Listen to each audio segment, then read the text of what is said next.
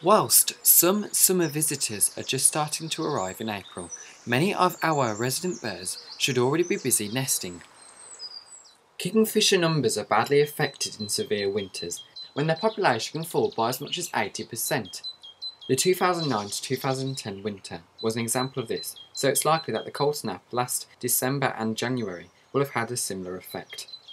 It is nature's way to bounce back after a catastrophe. Last summer it's thought that some pairs may have had as many as three broods.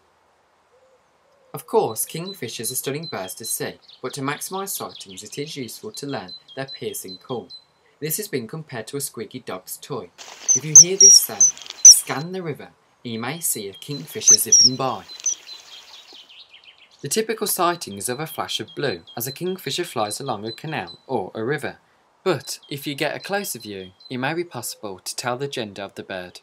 The male has an all-black bill, but the females have some red on their lower mandible. As an aide memoire, it may be useful to remember that it's the female who wears a bit of red lipstick.